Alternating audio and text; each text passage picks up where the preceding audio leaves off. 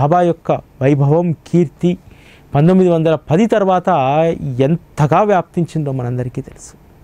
అంటే అక్కడ సాయిరాముడి యొక్క అవతార కార్యం సఫలీకృతమై ఈ ఏ రావణ వధ జరగడానికి దోహదం చేసినటువంటి సహకరించినటువంటి వెన్నంటే ఉన్నటువంటి సుగ్రీవుడు ఎంతగా రాముడికి తోడ్పడ్డాడో మనకి ఇక్కడ శ్రీ సాయి సచ్చరితలో నానాసాహెబ్ చందోర్కర్ మనకు అదేవిధంగా కనిపిస్తాడు. బాబా యొక్క వైభవాన్ని పెంచడానికి ఎంతమంది తాత్యాసాహెబ్ నూల్కరు ఒక సబ్జడ్జ్ పండరీపురానికి అటువంటి సబ్జడ్జిను తీసుకొచ్చి బాబా దగ్గరికి తీసుకొస్తాడు. ఎంత సేవ చేశాడు. అదేవిధంగా కాకా మహజని తర్వాత భూటి లాంటి వారు జో జోగేశ్వర్ భీష్మ అనేక మంది వీళ్ళందరూ రావడానికి ఈవెన్ ఇంకొక గొప్ప విషయం ఏంటంటే ఈరోజు మనం అనుభవిస్తున్నటువంటి షిరిడీ సంస్థాన్ అనేటువంటి దాన్ని రూపకల్పన చేయడానికి అందుకు సంకల్పం తీసుకున్నటువంటి శ్రీ రాధాకృష్ణ ఆయని కూడా పండరీపురం నుండి వెంట పెట్టుకొని చందోర్కర్ తీసుకొస్తారు. తీసుకొచ్చి ఆమెకు ఒక గౌ గౌరవప్రదమైనటువంటి స్థానాన్ని అక్కడ కల్పిస్తారు. రేగే లాంటి గొప్ప చదువుకున్నటువంటి వ్యక్తి బాబాను చేరుకోవడానికి చందోర్కర్ లాంటి వాళ్ళే కారణం. ఇలా అనేక మంది సైన్యాన్ని అంటే సాయిరాముడు తన యొక్క అవతార కార్యాన్ని అక్కడ రామాయణంలో అవతార కార్యం ఏంటి? రావణ వధ ప్రధానమైనటువంటిది. ఇక్కడ కలి మాయలో చిక్కుకపోతున్నటువంటి వారిని తన యొక్క ప్రభావం చేత తన యొక్క మహత్తు చేత తన నామం చేత తన లీలల చేత ఉద్ధరించబడి కలియుగంలో మానవుడు కలి మాయ నుండి బయటపడడానికి నానాసాహెబ్ చందోర్కర్ లాంటి వారిని ఒక సాధనంగా చేసుకొని ఒక గొప్ప సైన్యాన్ని. ఈరోజు మనం కూడా సాయి అవతార కార్యంలో ఒక చిన్న భటులమో సైనికులమో అయ్యామంటే అది నానాసాహెబ్ చందోర్కర్ వాలి లాంటి నానాసాహెబ్ చందోర్కర్ ఆయన చేసినటువంటి కృషి. అక్కడ సుగ్రీవుడు ఎంత ప్రధానమో మనకు శ్రీ సాయి సచ్చరితలో నానాసాహెబ్ చందోర్కర్ అంతే. ఎందుకంటే నానాసాహెబ్ చందోర్కరు తీసుకొచ్చినటువంటి సైన్యంలో ఒక్కొక్కరు ఒక్కొక్క విలక్షణమైనటువంటి వాళ్ళు. దాస్గన్ మహారాజుని చూడండి. దాసుగన్ మహారాజు గొప్ప కీర్తనాకారుడిగా తయారవుతాడు. ఒక ఇనుప ముక్కను స్వర్ణయోగిగా మారుస్తాడు బాబా. తద్వారా బాబా యొక్క మహిమ ఏదైతే బాబా అవతార లక్ష్యం ఉందో తన యొక్క మహిమ తన గురించి తెలుసుకొని కలిమాయ నుండి బయటపడాలి. తన పాద సద్గురు అయినటువంటి తన పాదాల చెంతకు జన్మ జన్మల బంధం ఉన్నటువంటి వాళ్ళందరూ రావాలి ఇక్కడికి ఈడ్చుక రావాలి అనేటువంటి దానికోసం దాస్గన్ మహారాజ్. తర్వాత మీరు చూడండి షిరిడీలో ఉన్నటువంటి వాళ్ళకు ఆ రోజు అంత ఆర్థిక పరిపుష్టి అంత శక్తి లేదు. అటువంటిది బూటీని ఇక్కడికి తెప్పించుకొని షిరిడీకి తెప్పించుకొని గొప్ప రాజసౌదాన్ని ఈరోజు బాబా కట్టించుకున్నారు. ఒక్కొక్కరి చేతి ఒక్కొక్క పని. Radhakrishna the best planner of the Samsthan. ఎట్లా ఉండాలి రాజభోగం అనేటువంటిది సాయిబాబాకు? ఎట్లా నాలుగు హారతులు జరగాలి? ఉత్సవాలు ఎట్లా జరగాలి? ఆ మహారాజు వైభవాన్ని పెంచడానికి ఏమేమి కావాలి? ఇవన్నీ కూడా రాధాకృష్ణ సమకూర్చింది. అట్లా ఇక మనకు చూసినట్టయితే రామాయణంలో లక్ష్మణ భరత శత్రుఘ్నులు ఉంటారు. మనకిక్కడ లక్ష్మణ భరత శత్రుఘ్నులు కనిపిస్తారు. నిజంగా శ్యామాని చూస్తే శ్యామ శివుడి ముందు నంది అంటారు కానీ శ్యామకు లక్ష్మణుడికి రాముడితో ఉన్నంత చనువు ఉంటుంది. నిమోన్కర్ నిమోన్కరు భరతులు లాంటివాడు. ఎప్పుడూ కూడా బాబా వెంటనే ఉండేటువంటి వాడు. ఇక అనేక మంది శత్రుఘ్నులు మహల్సాపత్ దగ్గర నుంచి బాబా వెంట ఉండేటువంటి బాబాను అంటిపెట్టుకున్నటువంటి అనేక మంది. ఇట్లా రాముడికి ఎట్లా సోదరులో అటువంటి సోదరుల ప్రేమను కూడా ఇక్కడ మనం చూస్తాం. అదేవిధంగా రాముడిని ఎవరైనా ఏమన్నా అంటే రాముడి గురించి ఒక్క మాటైనా చులకనగా మాట్లాడితే ఆంజనేయ స్వామి హనుమంతుల వారు అస్సలు ఒప్పుకునేవారు కాదు. మనకు షిరిడీలో కూడా ఒక ఆంజనేయ స్వామి ఉన్నారు. ఆంజనేయ స్వామి ఫిజికల్ ఫామ్లో వర్చువల్ ఫామ్లో రెండిట్లో ఉండేవారు షిరిడీలో. వర్చువల్ ఏంటంటే అక్కడ ఉన్నటువంటి హనుమాన్ దేవాలయం. ఫిజికల్ ఫామ్లో ఉన్నటువంటి నానావళి.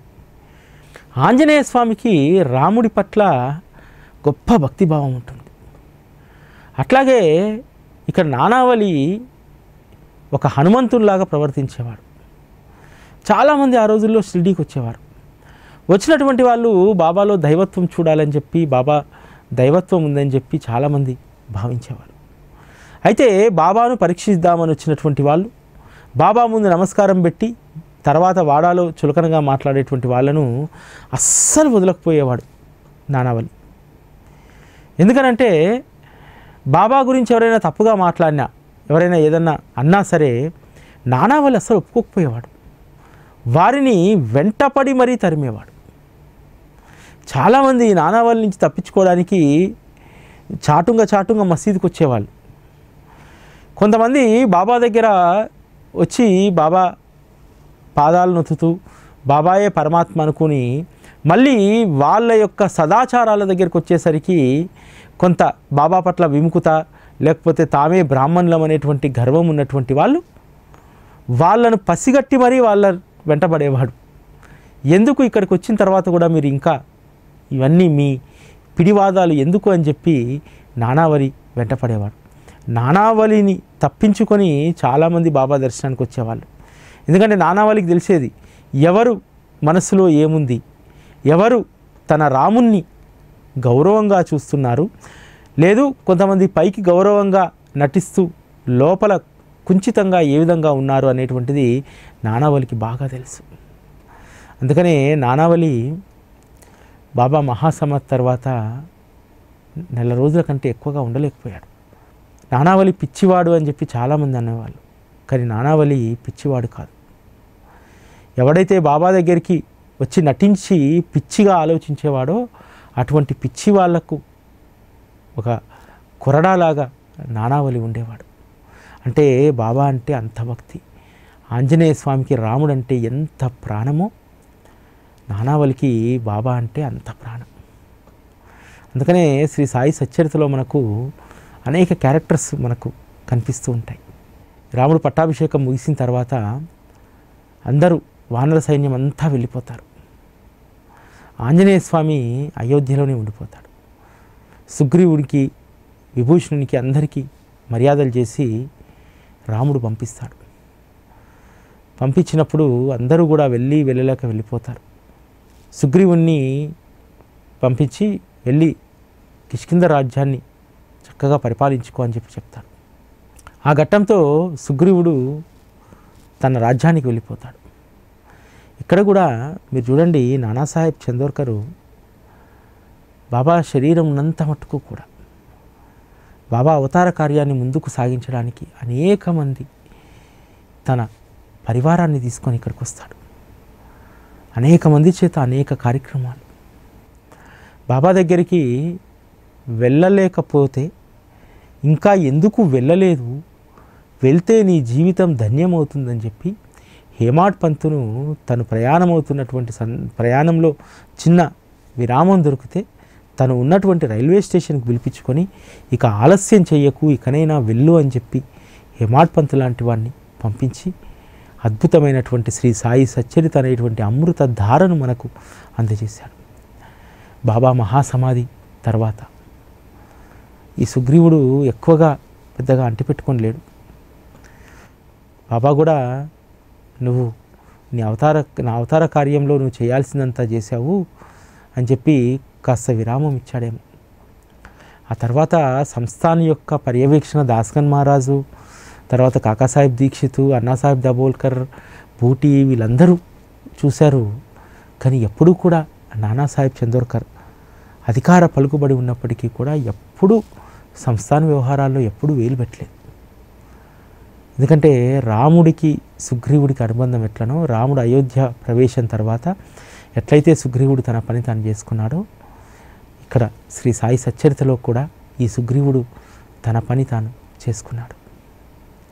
అయితే ఈ రామాయణము రాముడి గురించి మనం మాట్లాడుకుంటున్నప్పుడు ఎప్పుడూ కూడా షిరిడీలో జరిగేటువంటి శ్రీరామనవమి ఉత్సవం ఎప్పుడూ కళ్ళ ముందు కదలాడుతూ ఉంటుంది. బాబా అలా మసీదులో ఆసీనులై ఉండగా దాసుగన్ మహారాజ్ గారు అద్భుతమైనటువంటి కీర్తన చేస్తూ ఉంటే జనులందరూ కూడా సంబరమాశ్చర్యాల్లో మునిగిపోయేవారట. ఆ సంబరమాశ్చర్యాల్లో మునిగిపోయి రాముడిలో లీనమైపోయేవారట. మామూలుగా అయితే షిరిడీలో రామకథ మూడు రోజులు చెప్తారు. ప్రతి సంవత్సరం కూడా మన దాస్గన్ మహారాజ్ సంస్థానం నుంచి ఒకరు కీర్తనాకారుడు వెళ్ళి అక్కడ కీర్తన చేస్తారు అద్భుతంగా కీర్తన జరిగేది. కానీ ఏమి దురదృష్టమో తెలియదు. రెండు సంవత్సరాలుగా ఆ కీర్తనను చూసేటువంటి వినేటువంటి అదృష్టం లేకుండా పోయింది. అందుకనే బాబావారు సాయి టీవీలో ఆ కీర్తనను వరాల సాయి మందిరంలో ఏర్పాటు చేసుకుంటున్నారు. అద్భుతమైనటువంటి రామకీర్తనను మనం విందాం. అదేవిధంగా షిరిడీకి శ్రీరామనవమికి మనం అర్పణని పంపిస్తున్నాం. ఆ అర్పణం మనందరం కూడా సమర్పిస్తే కొన్ని వందల కుటుంబాలు సంతోషంగా పండుగను జరుపుకుంటాయి. ఆ కార్యక్రమంలో మీరు భాగస్వాములు కండి. ఓం శ్రీ గురుకులం. శిక్షణే తప్ప శిక్షలు లేని శరణాగతి సౌదం.